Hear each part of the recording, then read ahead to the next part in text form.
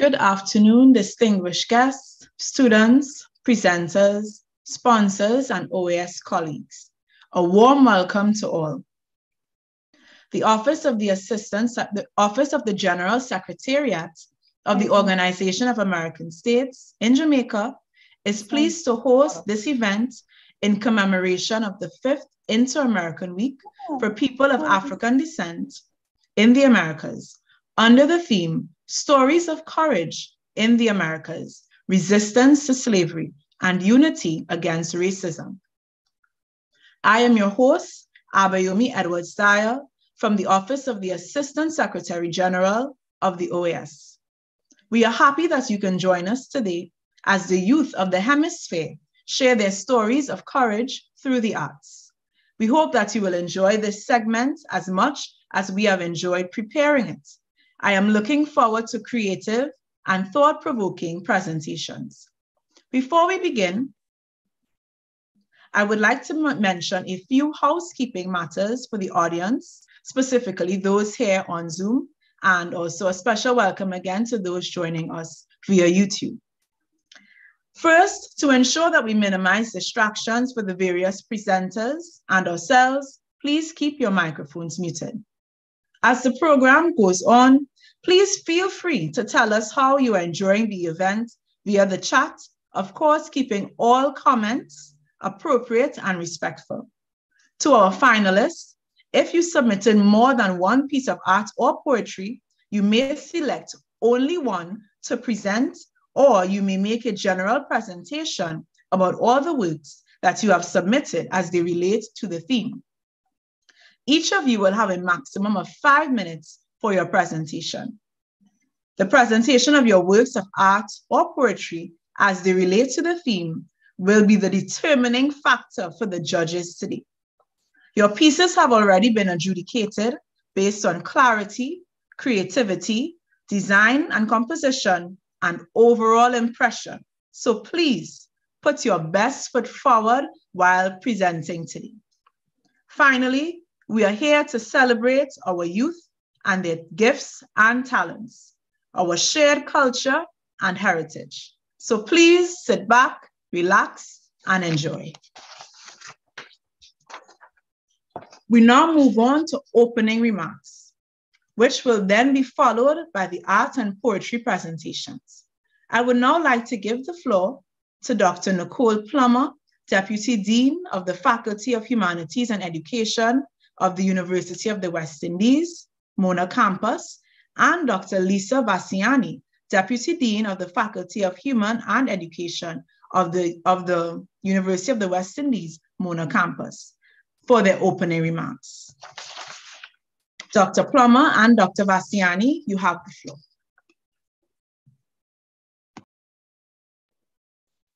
Hello, good evening, everyone. I am very honored to be here and to bring opening remarks on behalf of the Faculty of Humanities and Education. We're here to reflect through art and poetry, stories of courage in the Americas and resistance to enslavement and unity against racism. We must never forget, even as we look ahead, and it is in remembering that we can go forward with grace, strength, dignity, and purpose. These stories motivate us. And if I'm to be honest, one of the things that always gets me through a very tough day is when I consider to myself, my ancestors have done it. And they have done it under worse conditions than I am living right now. So I can do it. And I hope someday that my own child will be influenced by these stories of courage. So thank you, everyone. I'm very, very honored to be here to represent the Faculty of Humanities and Education. I want to also issue hearty congratulations for all the entrants who have made it thus far. I want to thank the judges for their um, for their their their their work and I also want to thank the organizers. Thank you so much for all the work that you've put in this. And I look forward, as I'm have no doubt the audience will be, to be motivated and inspired by this artwork and poetry that reflects these stories of courage. Thank you.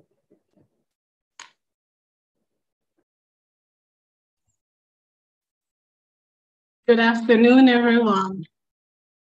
I decided today to use my time to greet you, to share a poem, as this is something I rarely do, read poetry. I'll be sharing with you a poem by my ancestor, Vera Bell, ancestor on the auction block. I think this says so much more than I could say to you this afternoon especially given recent events and affairs in our own country. Ancestor on the auction block. Ancestor on the auction block. Across the years, your eyes seek mine. Compelling me to look, I see your shackled feet, your primitive black face, I see your humiliation and turn away ashamed. Across the years, your eyes seek mine, compelling me to look. Is this the creature that I see myself? Ashamed to look.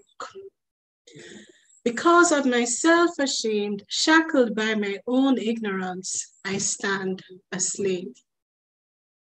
Humiliated, I cry to the eternal abyss for understanding. Ancestor on the auction block, across the years, your eyes meet mine. Electric, I am transformed. So today I share this with you. As we think about our ancestors and our struggles as Jamaicans and as peoples of the America, members of the Organization of American States. We continue to reflect on our history and interrogate our common experiences. I thank the OAS, Janelle, and the entire organization on behalf of the Faculty of Social Sciences for hosting this competition and for giving our youth a chance to express their gifts, their talents, and just generally express themselves through the arts. Welcome, everyone, and thank you for being with us today. Thank you, Dr. Plummer and Dr. Bassiani. His Excellency Ambassador Nestor Mendez, the Assistant Secretary General of the OAS, will deliver his opening remarks through a pre-recorded message.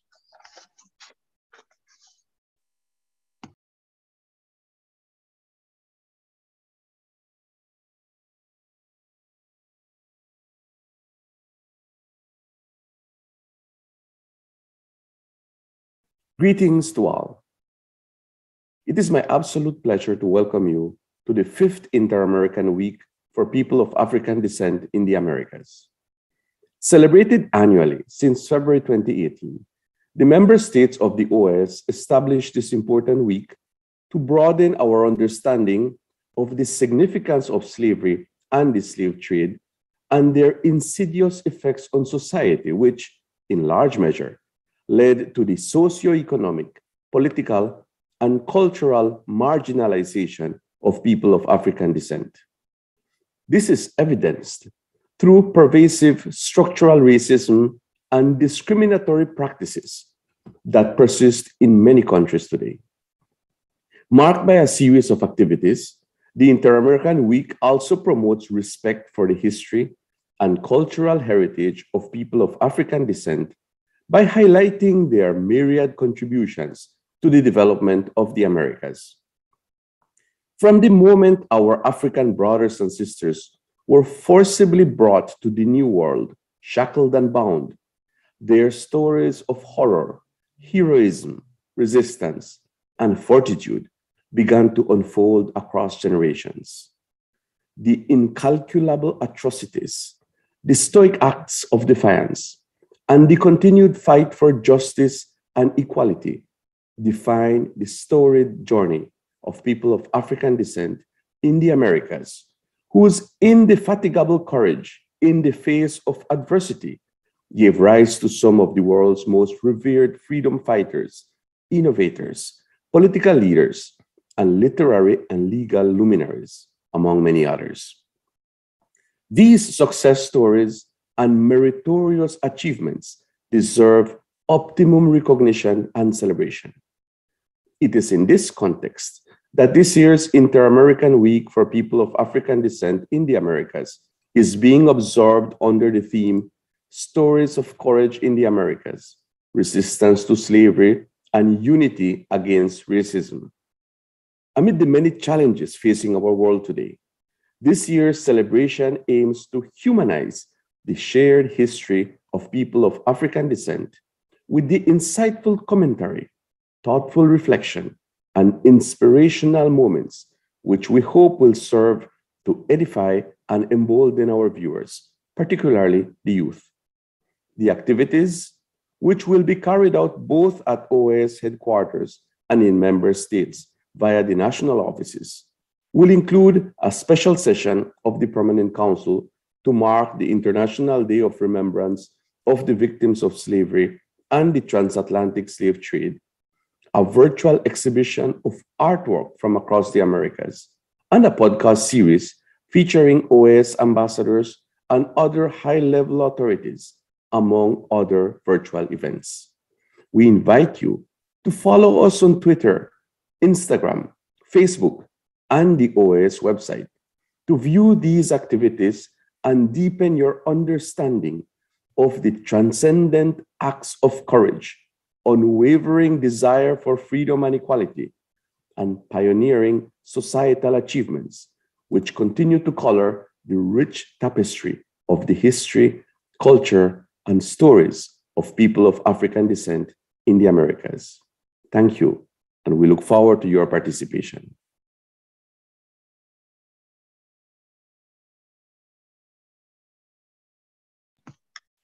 Okay, so now for the time that we have all been waiting for. This segment will feature presentations by the students who, after initially submitting their works of art or poetry, have advanced to the finals today. I would like to take this opportunity, even before we start, to congratulate all of the participants, their teachers, and their parents. Remember, finalists, you have a maximum of five minutes to make your presentation. So without further ado, I would like to call Ms. Tashay Phillips. She's a student at the University of the West Indies, Mona campus, to tell us more about her poem entitled Resistance to Slavery and Racism. Tashay, you have the floor.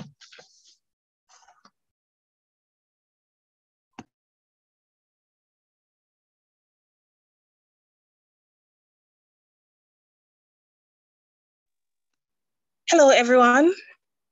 Are you hearing me? Are you seeing me? Okay, um, question, should I read the poem first or should I provide my explanation? Um, whatever you choose, just know it. Keep bearing in mind that you have five minutes to do so. So it's up to you. Okay, I'll read my poem first, then I'll provide a little explanation. Okay. Oh, I'm nervous. Okay.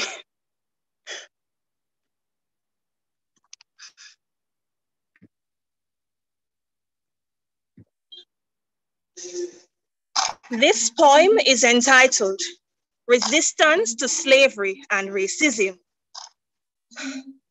Bob sings of mental slavery while his sister applies bleaching cream to her skin. His skin casting away the dark layers of her past, their forefathers' past, our emancipated tasks for Mark's future, so bright with no plight, the weight of her ancestral chains lightened but tightened. Is time life or lifetime? The past is the present and the present is the past. But what of the third or future? Bob sings of mental slavery while he oils his ancestral roots, castor oil, suited to increase the length and strength of our tangled coils coils that do not identify with the Newton law, but a new law. A new law rooted in our toils or scarlet stained soils. The law is sounded, the maroon's clarion call, thousands of decibels, sympathetic vibrations united in the fall of generational walls, the Berlin Wall, around it we march, the Jericho Wall. Yes, the rain may pour, but like our calls, we will rise when it dries and welcome tomorrow's surprise. For tomorrow's journey, we will gird our waists with a belt of truth, buckled with a sense of whose we are, where we were, who we are, no matter how far. Step by step, we journey to enlighten our darkness, a discovery of our prenatal greatness. Bob sings of mental slavery, while our call stretches to the sun, exercising great bravery, or strong but humble resistance to racism and slavery. Okay, I'm going to give an explanation of my poem now. So the instrumentals heard in the background were extracted from a song entitled Stand Up by Cynthia Erivo and Joshuah Brian Campbell in, and it was released in October 2019 from the biographical film Harriet. So my poem, so the theme, let's start with the theme. The theme is depicted in my poem in numerous ways. Stories of courage have been told throughout the ages, and it's these that assist in all in our roots, killing our scarlet stained souls, or calls that are our stories of courage. It links us to our tangled past, our ancestors whose blood are our red carpet paths to a better future. Or afros stand in defiance of science as it stretches to the sun, it is a strong but humble resistance to the restrictive laws set against our freedom, a strong gravitational force of racism, but we will rise like our coils and stand firm against racism. The poem begins like a prose to give reference to our stories of courage. It begins with Bob singing of redemption while his skin, ironically, applies bleaching cream to her skin. His sister was chosen to give reference to Rastafarianism, where we are all related by blood, bloodshed, or past. It was done to demonstrate that though we may be of one family, our stories are segregated but integrated. Slavery don't necessarily have to be a physical thing, but a mental one. Skin bleaching is often done to get a higher social status in society, but can we really blame them if they are socialized since young that the lighter you are, the brighter your future? Casting away the dark layers, their dark layers. And the dark layers refer not only to our skin, but the turmoils, um, being raped continuously, being packed like sardines at the bottom of a ship infested with feces. Old pirates, yes, they rob I, but why? By peeling away the dark layers of our past, we're also casting away our past or forefathers' past or emancipated tasks. Is time life for a lifetime? The past is the present and the present is the past, but what of the third or future? These lines question whether life is on a time loop. The more things change, the more they remain the same. So is this life really ours? Is it bounded by time waiting to replicate? If so, it's important for us to be courageous and step outside the system of time and detour a repeat of our past. Or is life time, where we are timed on how we progress and control our stories, to be knowledgeable of our roots so as to not be broken, but rather stand firm and enjoy the winds of change as we may not have enough time. Nevertheless, Bob continues to sing a redemption song as he holds his ancestral roots.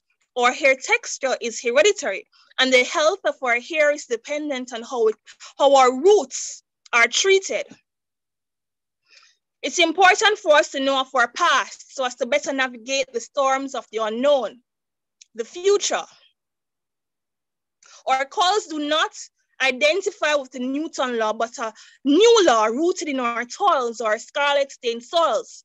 Knowledge of our past prevents us from gullibly accepting widely accepted laws that counteract the, the blood sacrifices that fertilize our scarlet stained soils or call stand in defiance of the laws of gravity. Likewise, the laws of Newton's forefathers that aided in the, aided in the establishment of the slave trade. Nevertheless, a new law emerges, one that promotes our emancipation or free will. The law is sounded, the Maroons' clarion call. The new law of emancipation is an echo of the cries against injustice. It's an echo of the cries of abolitionists, civil rights activists, activists. Paul Bogle, Rosa Parks, Martin Luther King, Nanny of the Maroons, just to name a few. It's also an echo of the enslaved who had to set aside pride so as to not face the consequences of Buckra's whips, whip. These loud cries are the Maroons' clarion call as it's time for action, time for resistance against racism. Thousands of decibels. Each decibel is used metaphorically to describe the individual cries of victims. Sympathetic vibrations then occur as it causes a response from other activists and third parties to stand in resistance to racism. In so doing, it increases the decibels high enough to break generational walls, guarded like the Berlin Wall, which physically and ideologically divided people, families. It was the Iron Curtain. Like the Berlin Wall, the people's cry is bringing an end to the Jericho Wall of racism.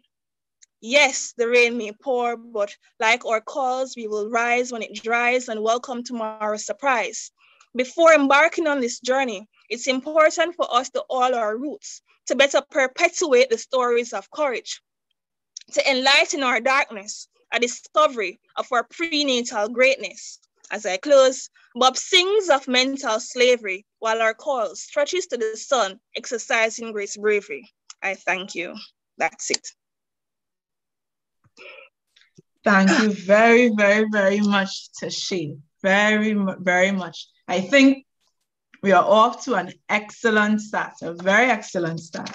So, proceeding with our program, I would like to introduce Miss Kiana Edwards. She is a graduate of the St. Andrew High School for Girls, and she has a painting to share with us this evening entitled But Never Attained. So, Kiana, you have the floor. I have your painting here so that everyone can see your artwork, and you have the floor for five minutes to, to tell us anything you would like about your artwork. Good afternoon, everyone. I'd just like to say thank you, first of all, for inviting me to be a finalist in this competition. All right, so this painting, but never attained, was created to highlight the fact that until we are united, um, our drive for equality will not be attained. It's featuring the lyrics of Bob Marley's This um, which are throughout the painting. And then we have a silhouette of a man and his eyes are cut off because it sometimes can feel like without without necessary vision, without having that kind of um, outlook, it, we can't really see what we're working towards. Um, the colors are pretty harsh, and that was really intentional to just show like how, and and warm also to just show how difficult this striving towards equality can be.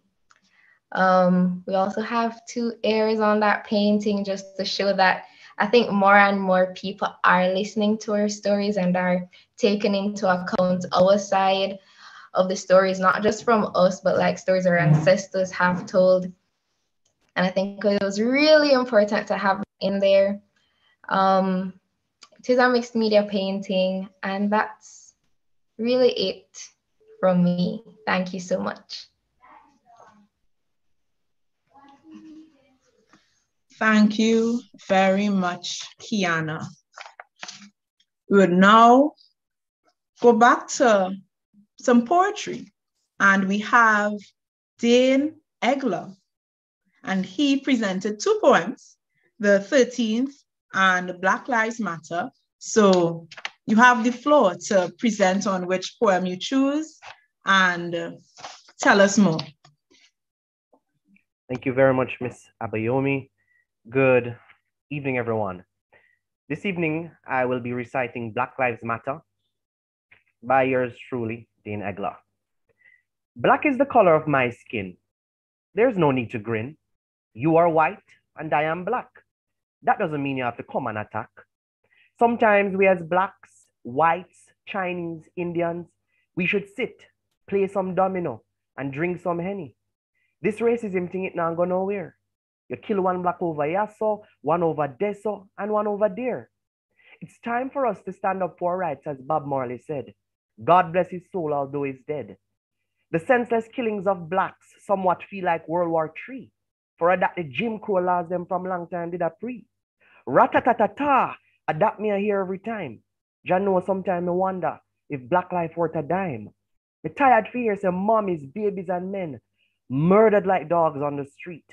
And guess what, people? Are the white police them that do it. As Martin Luther King, Nelson Mandela, Malcolm X say, we need a reformation in this world, in our nation. No longer can we stand aside and watch our brothers and sisters die. And then we see one turn up a funeral, they cry. Who watched the video when them kill my friend George? The white police just come, fling him on the ground, put him knee on him neck on the barge. Nine minutes it took for the guy to die. God knows I'm not lie when me watch it. Me cry. No ear could the poor guy get after the wicked police boy, after the wicked police boy saw the man a sweat. Me tired of this. Me tired of this. The whites them upon a dissing thing. Cause every day upon the blacks them appear gunshot them a fling. Po, po. Sometimes I'm afraid for left me hard. God in heavens know why me say me gonna go live abroad. My life matters. Your life matters. All lives matter too. So why them I treat blacks like them are the gorilla in the zoo? It's time for rednecks and racists to be punished for what they do. Imprison them, execute them, or even fine them. That would be new. You know what? In my opinion, I find too slack. It's time for them to feel how it feels to be at the back. Racism is the pungent smell of hatred a rampant ramification, rampaging, and ruining the realms of blacks. Let's end racism today. It spreads like a disease. And if we not end it today, racism now cease. Now that's the end of my poem. I think I wrote this poem for a very cliche reason, just like any other poet that would write about racism or slavery, because we want to see, we want to see that come to an end.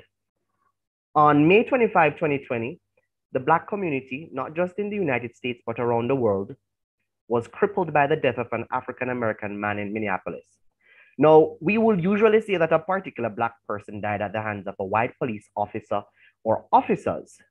However, in this scenario, this African American man died at the knee of a white police officer. That man was George Floyd. For me personally, this was an eye opener. You would hear you. I usually hear person talk about racism and black innocent people getting shot, but I watched the video and it dawned on me. If a white policeman could do this to an American citizen who supposedly had the same rights as any white person, yet he was dealt with in such a humiliating and an awful manner, imagine what he would do to me. At the time, I was 17 years old. I was a 17 year old Jamaican youth and I normally would visit my relatives in the United States, or I would go and check out different things about school. And I said to myself, imagine what he would do to me. Just like everybody else, I was disappointed, I was sad, and I was very angry. But I didn't just want to sign a petition saying that this police officer should be tried and go to prison. I wanted to revert all that anger into writing. And so I usually would tell my friends when you're happy, when you're sad, when you're disappointed, write about it. And so I got a piece of paper and I got a pen and I started to write two poems Black Lives Matter, which I just read, and the 13th. Now, the 13th speaks about the 13th Amendment in America. And for those who know about the different laws and so on, the 13th Amendment talks about freedom for all. In the poem, it describes racism as the story that continues until now. And this emphasizes the fact that there is need for significant social and political reform because racism is real and it's still going on. And we need to get to a stage where we recognize Black people, not as trash or not as an animal, but human beings. I end with a quote from a famous American, African American poet, author, producer. Her name is Maya Angelou, and I love her poems. But there's this particular poem that says, Still I Rise. It ends with the quote bringing back the gifts that my ancestors gave. I am the hope and the dream of the slave. And that dawned on me, and I said to myself, We're coming from afar. We've come a long way. We've come from the days of slavery, and we're here now. And there are improvements. However, there is much work to be done. And if we as Black people can unite and collaborate and work together, we can fight off our oppressors, we can fight off this systematic racism, but most importantly, we can build a future not just for my child or your child or your sister or your mother or your father, but we can build a brighter future for all people of color. Thank you for listening. Thank you for watching. Enjoy the rest of this evening's proceedings. Thank you very much, Mr. Egler for not just your poem, but also for reminding us of the power of the pen and the power that we have through the arts. I would now like to give the floor to Nakar Gordon of York Castle High School.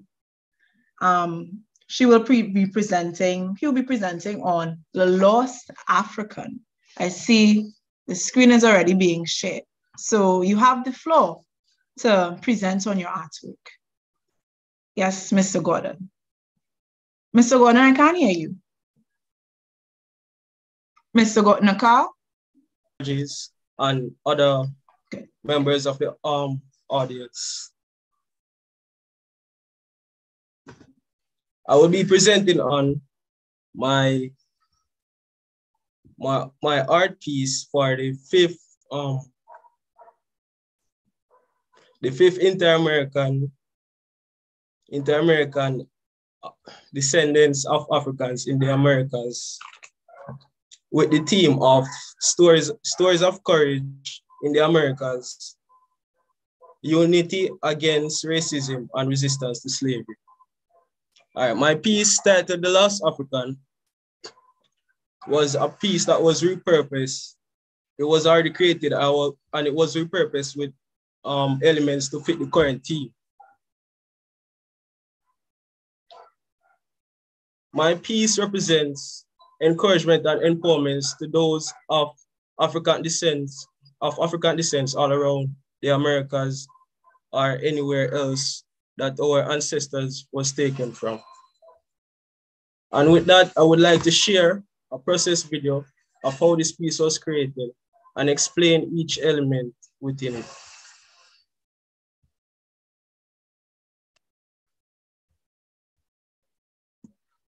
This piece was developed from a sketch I had in my head with a baby representing innocence, representing innocence, um, which we all have in each and one of us, and our hopes and dreams reaching to the sky. And right here, I was calling the proportions and the color for the baby I'm putting in the shadows and such forth. And here I decided against the crowd to implement a cloud to represent that sky's the limit. No matter where we are, we can still reach our dreams and often matter no resent, um, descent. All right, this, I later decided down in the video that I wasn't going to go with a head.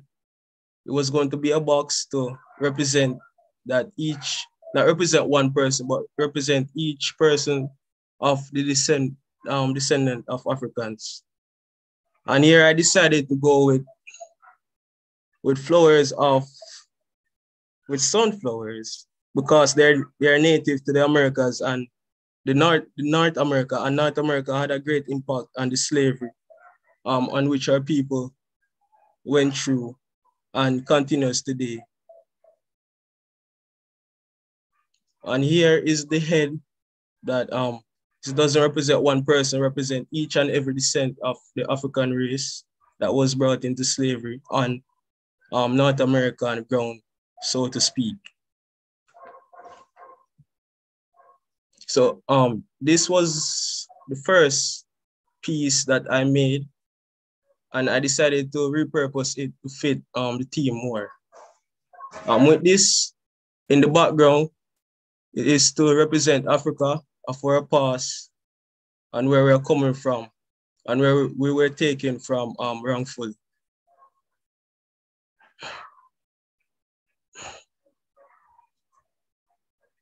And these tribes are here to represent um, each tribe that was taken from Africa um, wrongfully. And these each colors at the the side represent um, you can say to speak accent to support the piece.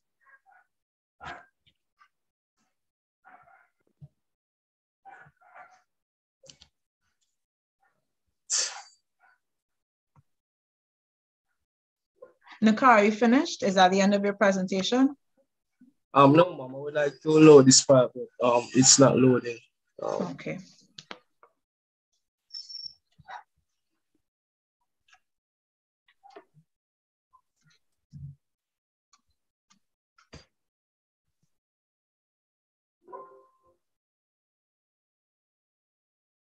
Uh, yes, Mister. I see my can um load the file, so I will finish.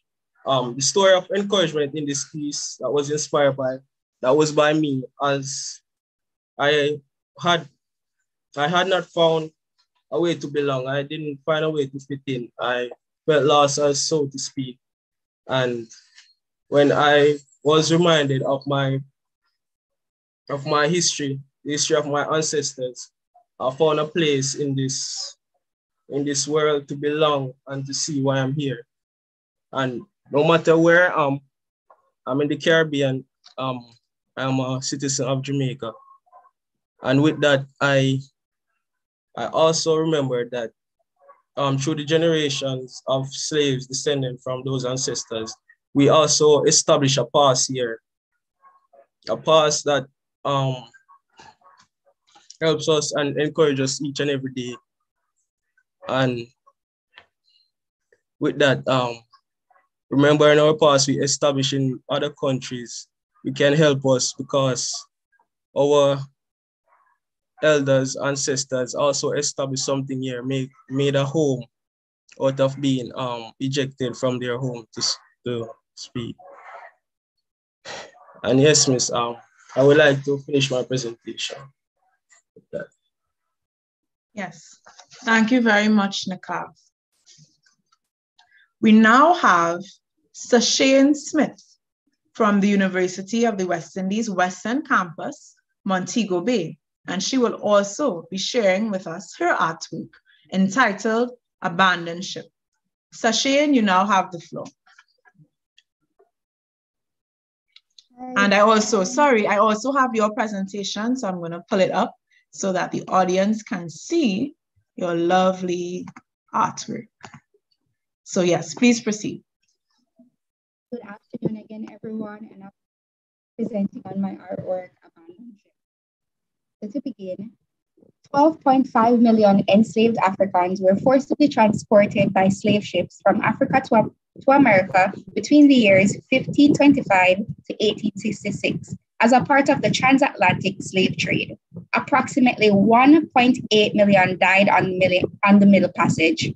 Life, abo- life aboard was agonizing to the point where enslaved men and women committed suicide in hopes of ending the traumatic experience. Others had believed that if put to death, they would return home. The act was also, with no argument, an act of rebellion. Refusing to eat, finding means of weaponry for the use of defense were just to name a few. My artwork today, Abandoned Ship, not only represents imprisonment and thraldom, but most importantly, courage. Courage that Africans face while being taken away from their promised land. 1.8 million souls. That's the amount my abstract piece, sizing at a mere 8 by 10 inches, depicts. Bravery, courage, and brings hope for the future that we too can be this courageous with our own life and destiny.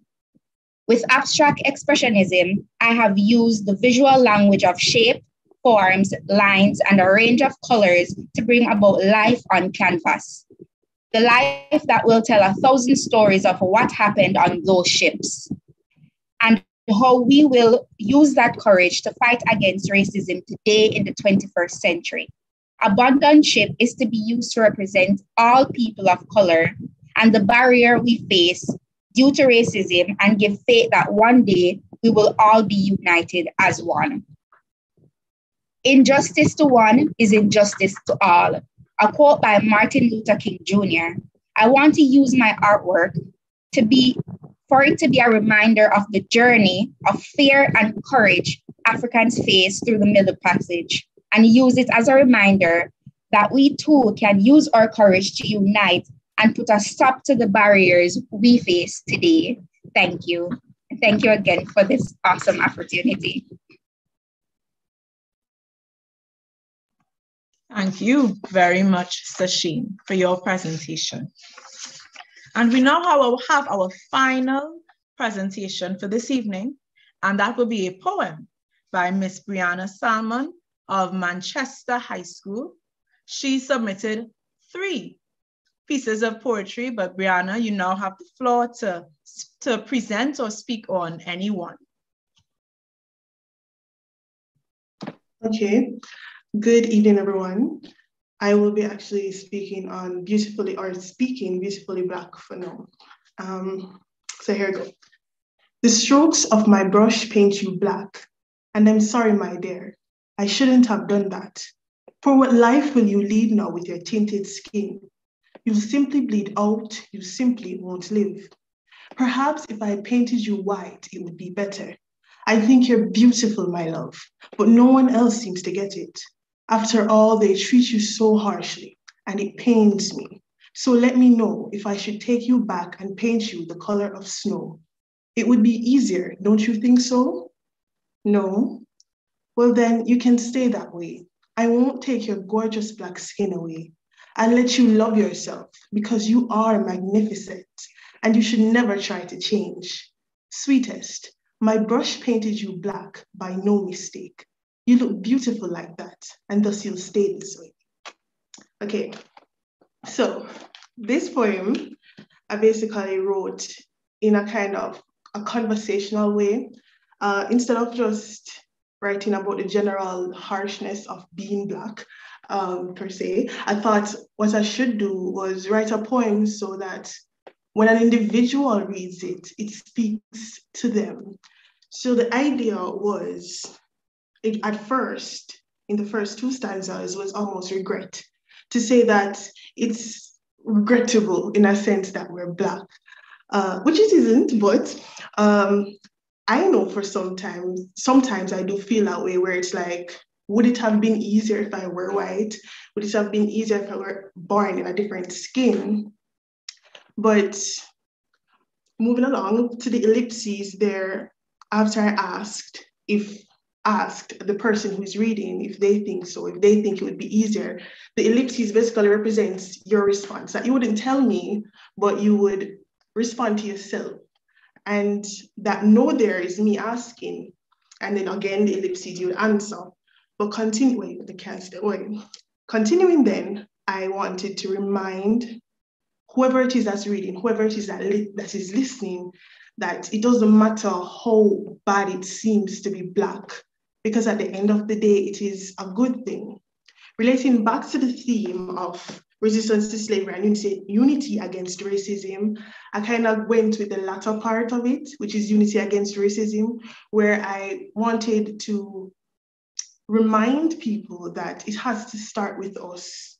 It can't, if you want to unify as a group, you must start with the self. Because if we're at odds with who we are as Black people, if we don't notice that we are in fact beautiful and that we are in fact worthy, then how can we move beyond what is happening to us? How can we resist what is happening to us if we ourselves don't recognize our worth? This poem then kind of seeks or does seek out each individual, young and old, big and small, as a Black person to remind them that it is in fact okay to be Black. It is perfectly fine and it is beautiful, like your hair, your nose, your lips, your skin, they're all gorgeous. The other points, I'll just touch on them for a little bit. Once uh, is one of them, was written after I had realized that my identity stopped because my last name isn't truly my last name, it was given to me. And I wrote that poem to kind of speak on how it feels to live in a place that is so beautiful, but once had inhabited or once there was this existence of such harshness, which is slavery. The other poem, which is fight of or song of freedom fight, was basically written to talk about because music is a big part of Jamaican culture and Black culture overall, was written to express or show how music has been a part of our defiance, but also how that rhythm of blackness would have built up over time and led to our initial or overall victory. So back to this final one before I close, just to say that it was simply a conversation between the reader and myself, one that I would never hear their answers or never hear their thoughts, but at the end of it all, they should feel that yes, if I should get up today and fight against racism, that is such an awful thing, then I can win and I should win and I deserve to be seen as any other human being. Thank you. Thank you very much, Brianna, for that reaffirming statement that Black is indeed beautiful. Audience, please join me in congratulating all of the competitors for sharing their stories. What they have accomplished and continue to do is no small feat. So Tashay, Kiana, Dane, Nakar, Sashane, and Brianna, thank you. You have given our judges much to deliberate on. I would now like to give the floor to Mr. Vivian Crawford, Executive Director of the Institute of Jamaica, to present his lecture on the theme of this Inter-American Week. Stories of Courage in the Americas, Resistance to Slavery, and Unity Against Racism. Mr. Crawford, you now have the floor. Thank you. Good afternoon to everyone. Moderator, Mrs. Abeyuni Edwards Dyer, Your Excellency Ambassador Nestor Mendez, Dr. Nicole Plummer, Dr. Lisa Vassiani, Ms. Janelle Van Glenen Wegel, participants in art and poetry competition, sponsors, guests, ladies and gentlemen, I want to thank the Organization of American States for your kind invitation for me to associate with your theme. And I thank Ms. Janelle Van Glenen Wegel for facilitating the process.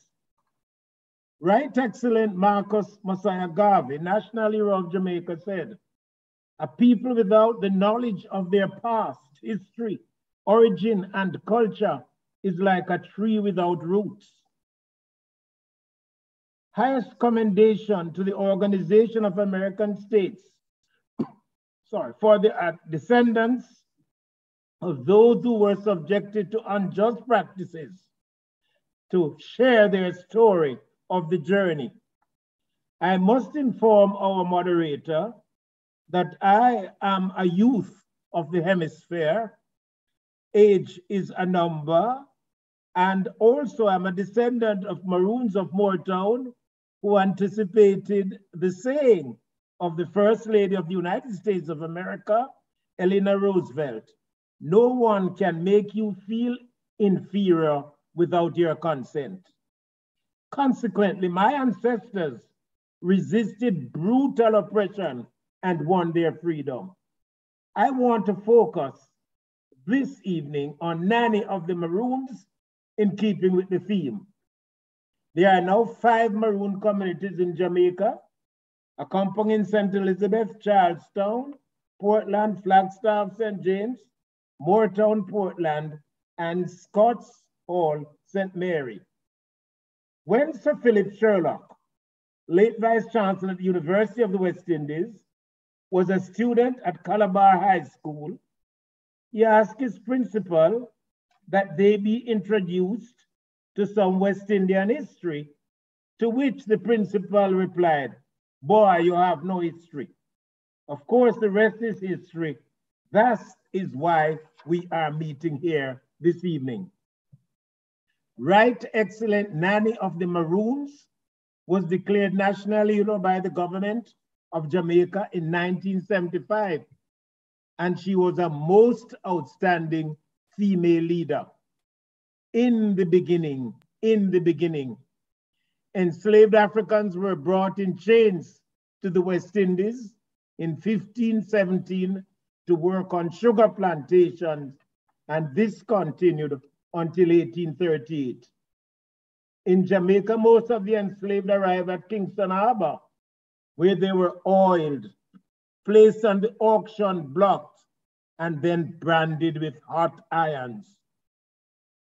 Professor Colin Channer would remind us, quote, that our ancestors did not arrive through immigration, but through customs because they were regarded as goods.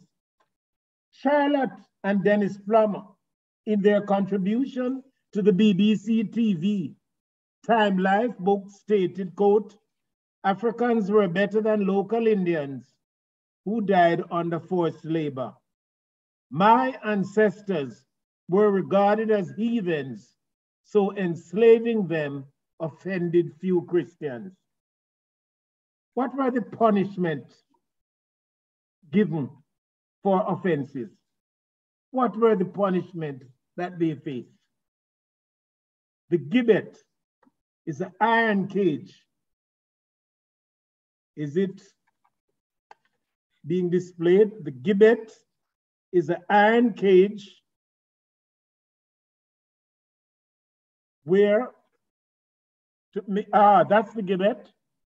That's an iron cage. And that was found at Stony Hill, St. Andrew, Jamaica in 1937. And the skeleton of a woman. What a way to die. She must have resisted something, and that was her punishment. Other punishment for enslaved included the men being castrated, male and female, ear chopped off, or half of a leg. Fire by degrees to hand and feet.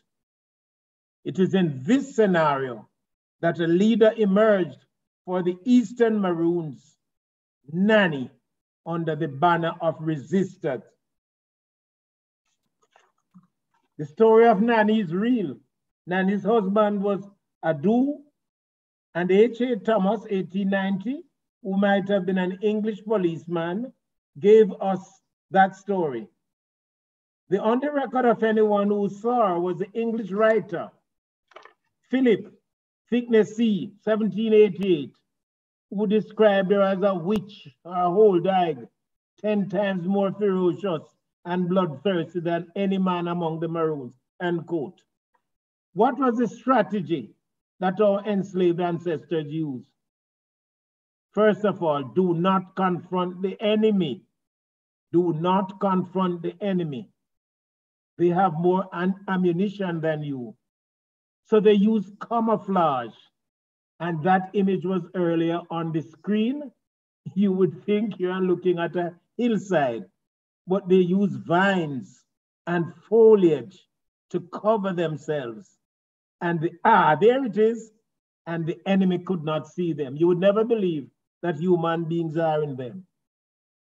So, when the Bakramas are passing, little did they know that they were human beings in those vines.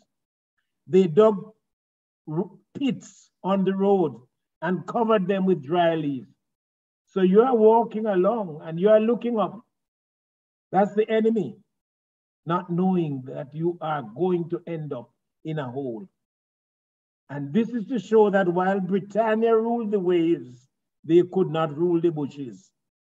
I used to sing that song as a child. Rule Britannia, Britannia, rule the waves. The rest of the heritage of my ancestors.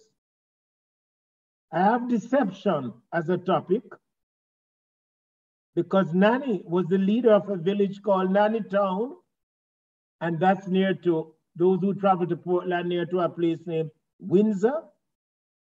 And she had a village of 100 homes. And the village was captured by the British in 1734 because runaway slaves who had sought refuge in the village betrayed Nanny and went and told the British where the space was. And that's how Nanny Town was destroyed. Some of you would remember that there were some students from Jamaica College in the 1930s went in search of Nanny Town and how they got lost. And um, that story was told to me by someone from a place named Coopersville when I must have been about 11 years old. I never forget it. But when I had a look at history, one of those students, most of you are historians, would have read his book, Professor Douglas Hall. He was one of those who went in search of Town and did not find it. Um, of course, recently in the 70s, another group from Jamaica College went, and again they got lost. And one of them um, married um, Lorna, Laura Facey. Laura Facey's statue is near Emancipation Park across from the Pegasus. So there you go. Victory. At her might under military leadership, Nanny killed an entire English contingent of 600 men at what is now Seaman's Valley. And when you go to Portland, past Fellowship, going up into Moortown, you will see Seaman's Valley. Again, my ancestors told me this story because by age nine, I knew all I was supposed to know about my village. The men, the place is called Seaman's Valley because that's where she defeated them. But she didn't know the name sailor or soldier. She knew they came from overseas, so that's why they were called seamen.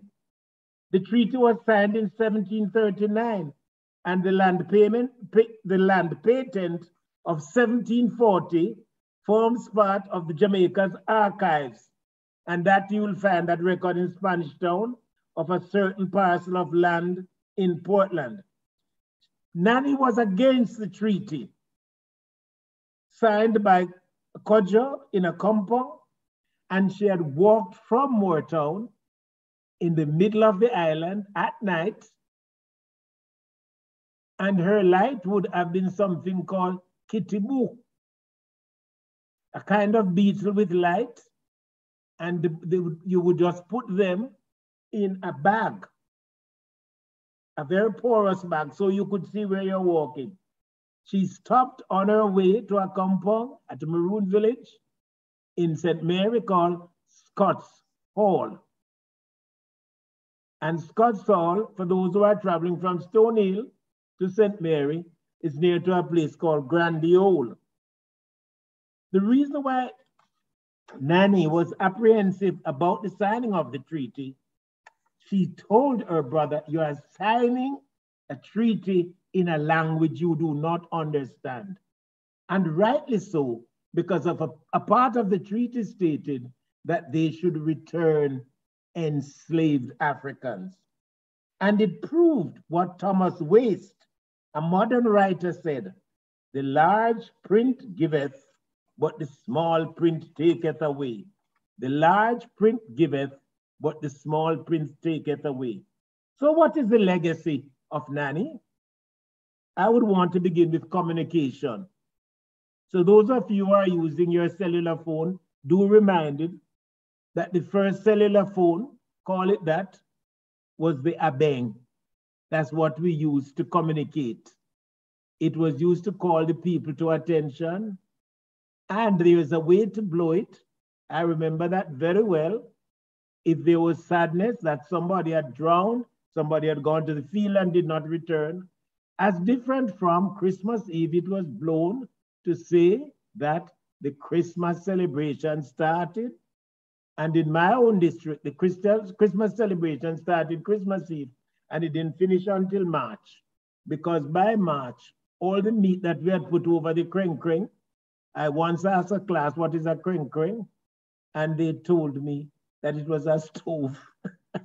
a kring kring is made out of bark and put over the fire so that the smoke would help to cure the meat.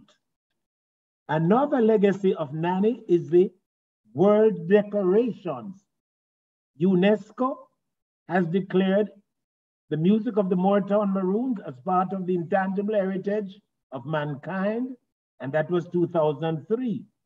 Then in 2015, there was a declaration by UNESCO of the Blue and John Crow Mountains as part of the tangible and intangible heritage of mankind. That is called mixed heritage, mixed declaration. Another legacy is dispute resolutions because the template of the Maroon village was interpersonal skills, how you live with one another. You do not destroy one another. And therefore they had a council and the disputes were resolved by the council. I am from a district, Moore Town in Portland, where to date, from this treaty 1739, there has only been one murder, and it was a murder of passion. King George II of England gave his prayer book as used in the chapel at Windsor Castle as a gift to the Maroons of Accompong for their cooperation after the abolition of their getting their treat, treaty. People thought perhaps that there would have been revolution and that it would go wild, but they wanted their um, what what I would want to call their their Bakra master, their masters, to know that they are human beings, not what they thought about them, that they were animals. Nanny's legacy also involves military strategy, the camouflage, not confronting the enemy. And there are some countries in the Eastern world who had battled some years ago, and that was a strategy they used. Medicine, medicine. The pioneering work of herbal medicine is documented elsewhere. And this afternoon, it's impatient. Oh, I see you put on the cerasee. And Miss Janelle said she calls it in her country a kind of melon name. Now, I love that. And that was what I had for my tea yesterday morning, the, the, the bitter cerasee. The, another legacy is freedom from land tax. In my own district, we do not pay um, taxes on land. And then the cuisine. Um, ah, there you go. The jerk. But they didn't start with chicken because they didn't have chicken in abundance. They started with pork, and, and pork came about not for just enjoyment, but when the Maroons left their villages, they had to leave their animals behind. Sadly, children who were crying were left behind. And that was shared with me by a former colonel of the Maroons, Lumsden, from Charlestown in Portland. Think of that tragedy. You had to leave the children behind because they were crying. And that is why um, true-born Maroons do not eat goat meat. True-born Maroons do not eat goat meat because goats gave us away when we were in hiding. They told the British where we were. But the pigs, they came out at night to eat our cultivation. So we used dogs to catch them. And because we were far away from home and to travel with all that heavy meat, by jerking it, it was lighter. In conclusion, resistance to slavery and unity against racism must still be on the agenda as we embrace that the past is history. The future is a mystery, but the present is a gift. That is why it is called a present. And we have the gift of the present. to prove that. As the Jamaican proverb says, man or woman not dead, no call them duppy. Because truth must float. It cannot be hidden. Thank you.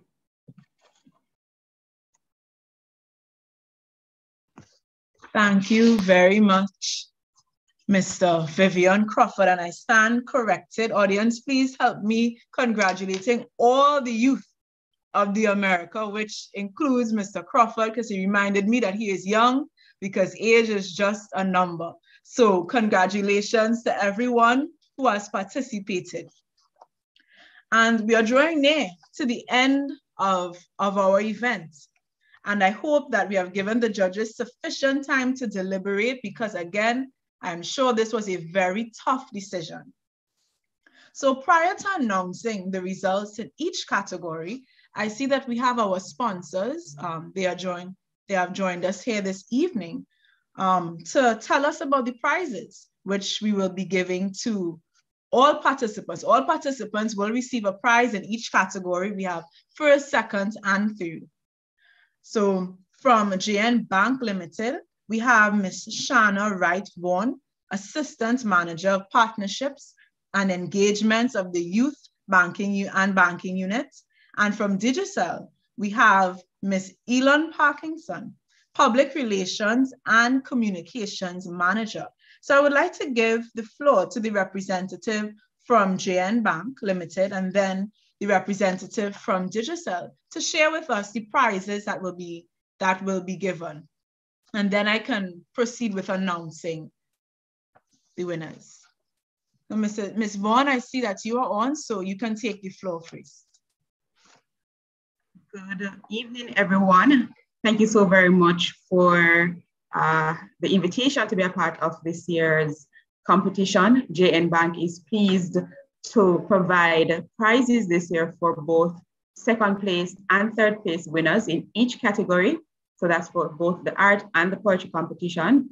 The second place winners will receive gift certificates valued at $30,000, while our third place winners will receive $20,000 each. And that is from the JN Bank. Prizes will be uh, distributed on Friday and so we look forward to seeing who will be the winners for those prizes. Thank you and all the best. Thank you very much, Ms. Vaughn. Ms. Parkinson from Digicel, you now have the floor to tell us about the prize, the first prize, the first place prize that Digicel will be giving to the winners. Hi, good afternoon, everyone, and uh, hello. Yes. Mr. Parkinson, yes, you have the floor, and we're hearing you. Hi, good. We're not hearing you now.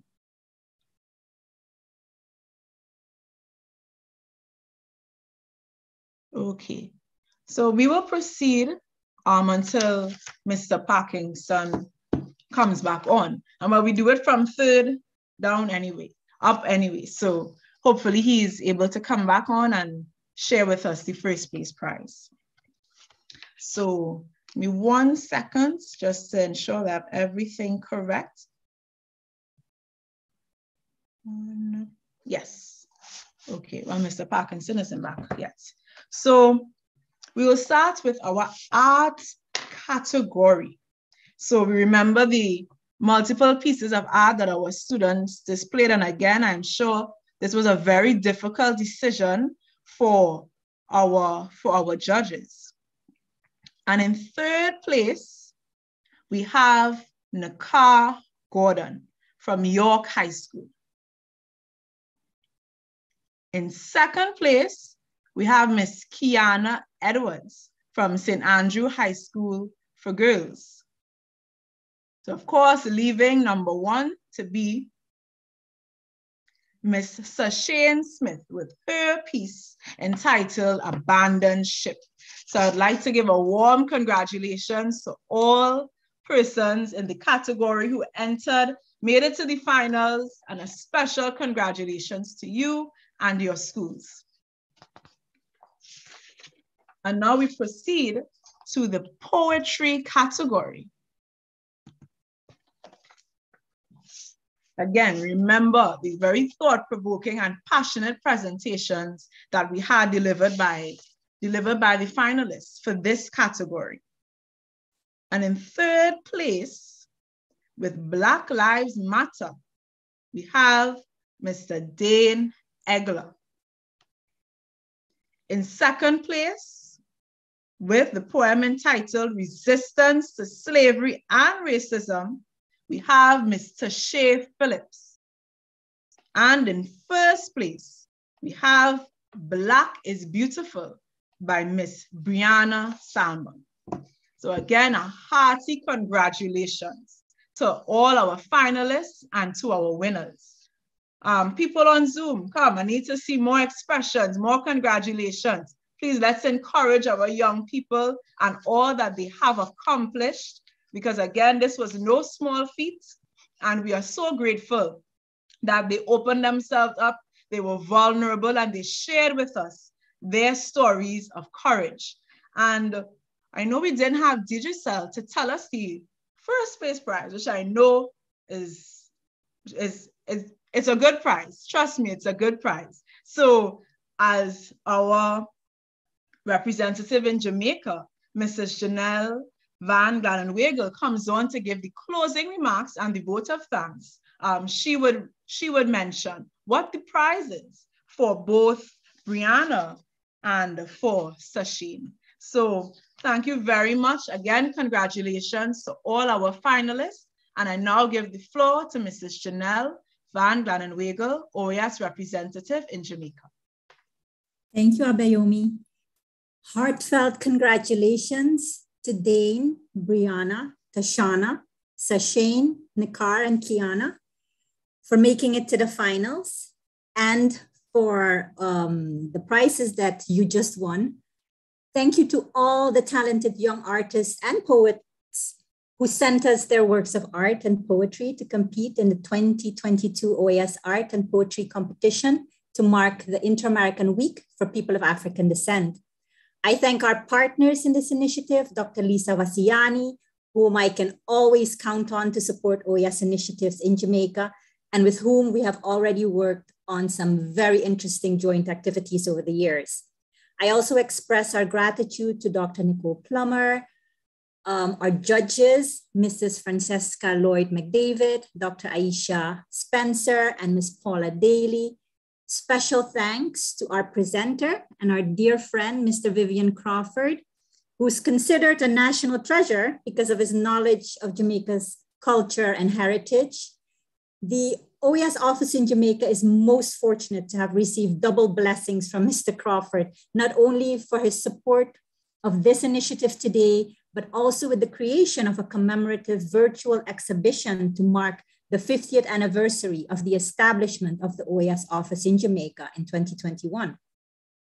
The virtual exhibition can be viewed on the website of the African Caribbean Institute of Jamaica, the Jamaica Memory Bank, which is a division of the Institute of Jamaica. We're most grateful to our sponsors of today's event, Digicel, Digicel and JN Bank for so generously rewarding the talented young Jamaicans who shared their works of art and poetry with us today. We thank Mr. Elon Parkinson. I noticed that he had some technical difficulties and could not show our number one um, prize winners the tablets that Digicel has sponsored. So they would be getting tablets from Mr. Parkinson at the handover ceremony on Friday. And Ms. Shauna K. Wright Vaughn um, for joining us um, today. Finally, I thank my OAS team, our eloquent moderator, who is one of our brilliant Caribbean young people working in the office of the OAS Assistant Secretary General in Washington, DC, as well as Ms. Parchment and Mr. Parker in the OAS office in Jamaica. My favorite part of the job is always working with um, young people, anything that we have to do that includes working with and for our young people as I always sincerely hope that our contributions, no matter how big or small, can lead to great doors of opportunity opening for our Caribbean youth. As we celebrate the Inter-American Week for People of African Descent in the Americas, I'm very pleased that the Office of the General Secretariat of the OAS in Jamaica, with the generous support from our partners, was able to organize this art and poetry competition. We hope that you enjoyed it as much as we enjoyed putting it together for you. And I reiterate the sentiment expressed by Dane as he ended his presentation in the world, in the words of the late Maya Angelou, who's also one of my favorite poets. And I paraphrase, you, our youth, are the dream and the hope of the slave. And in the words of Miss Maya, I rise, I rise, I rise, a reminder to all of us who are descendants of slaves to continue to persevere and to keep rising. Thank you so much. Thank you very much. Thank you very much. So we are officially, we have officially come to the end of our evening of presentations. Again, thank you very much to all our finalists, all our, our, all our students who came out and they shared their stories, whether it be whether it was their artwork or their poetry. Um, it has indeed been a pleasure serving as your moderator please be sure, even as we close out, you know, I know this is one event in the Inter-American Week, but please be sure to visit the OAS website. We have several events at headquarters as well as within our member seat. So please be sure to go on our website and see the various um, activities that are scheduled for this Inter-American Week. And again, I would love to re reiterate the call made by all our artists today about being united against racism. United, we stand, divided, we fall. So I'm calling on all stakeholders, us as citizens of the Americas, of the Caribbean region, to take a stand, especially our young people, to take a stand against injustice, against racism and discrimination. It's all in all its forms. So again, thank you very much for joining us, our audience here on Zoom and on YouTube. Thank you very much and have a blessed night. Um, Abayomi, before everybody Yes. turns off, can we turn on the cameras and get a, a screenshot, especially with all of our finalists on? Oh, yes. And our sponsors, Ms. Vaughn. Oh, Mr. Parkinson. Well, maybe you can still show the, the winners what they won, please. Francesca, can we get a screenshot, please?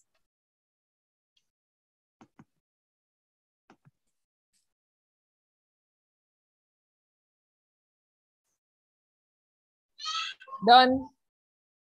Thank you. Thank you, everyone. Have a good night. Thank you. Have a good night. Bye, everybody.